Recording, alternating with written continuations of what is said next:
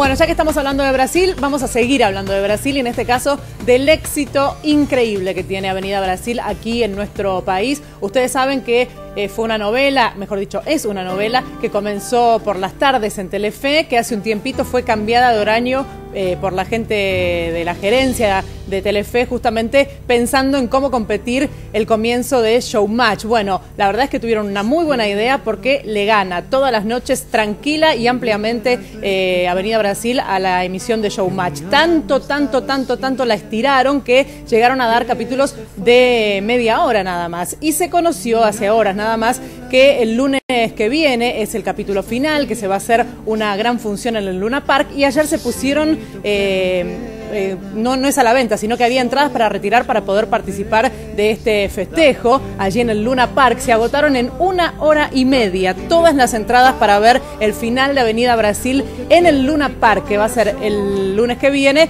a la noche, por supuesto, a las 21.15 va a comenzar con la conducción de quién? De Marley, lógicamente, pero también va a estar Virginia Lago, que es quien los presentaba al comienzo de esta novela en las tardes cuando se convirtió en la Argentina en un éxito. ¿Quiénes vienen? Porque lógicamente eso es lo que le interesa a, las fanáticas y a los fanáticos de esta novela.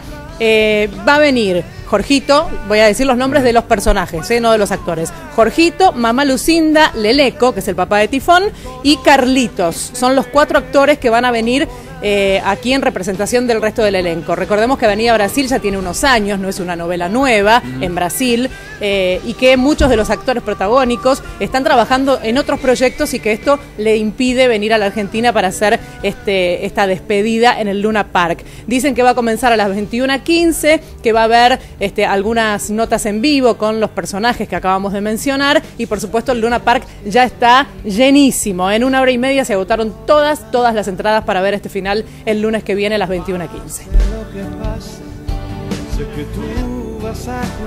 Cuento algo, estamos re mal, ¿cómo hacemos? No tenemos entrada. No tenemos entrada. ¿Qué te gusta vos de Jorgito? ¿Qué le haría? No, ¿qué Jorgito? Tifón. Tifón, ¿te va Tifón? ¿Por qué? No, es lo más. No, no.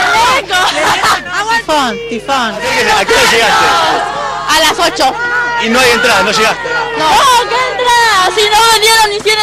acá no dieron nada acá. Toda la gente está acá, toda esta es ¿Qué van a hacer ahora? Las primeras personas que recibieron entradas, a las primeras compraban una entrada y las otras cinco se las regalaban para que las revendan.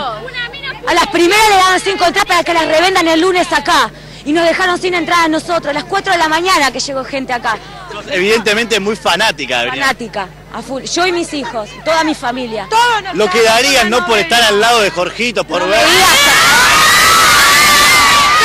Por una entrada, por una entrada, de las 7 de la mañana de y venimos. Me quise matar porque me empezaron a decir de que no habíamos entrado. ¿Qué pasa si no consiguen entradas para lo que va a ser el? Igual, es igual, como sea. Hay gente que está acampando desde ayer a la noche, loco, y se recolaron y no puede ser que no, que no abran las ventanillas. Señora, ¿cuándo llegó? Hoy a las 7 de la mañana. ¿Por qué a las 7 de la mañana, señora? ¿Por qué tan temprano? Para echar la fila, para estar acá de... Para... ¿Usted es fanática? Sí, totalmente. ¿Por qué se muere, señora? Mira, por Jorgito. ¿Qué le gusta de Jorgito? Es simpático. Es hermoso, es hermoso. ¿Qué le haría si lo tuviera Jorgito acá delante? No sé. ¿Lo toca todo, señora? Sí. Esa cara.